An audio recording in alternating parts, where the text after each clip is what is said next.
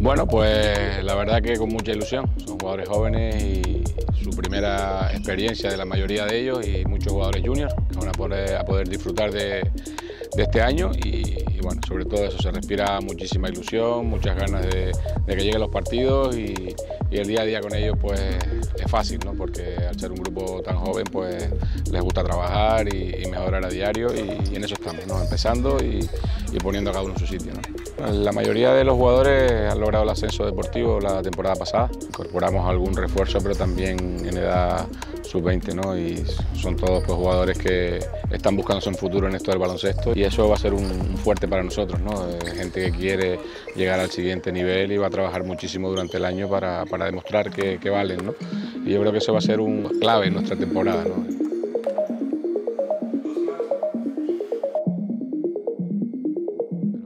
El objetivo inicial va a ser que el día a día sea bueno y estoy seguro de que lo vamos a conseguir. ¿no? Y después a nivel bloque, pues nuestra juventud puede ser un fuerte o un hándicap, ¿no? pero esperemos convertirlo en la parte positiva, que sea que pongamos nuestro ritmo, seamos capaces de jugar siempre a alta velocidad, con muchas eh, posesiones y vamos a intentar jugar un baloncesto rápido que va siempre a favor de nuestras características.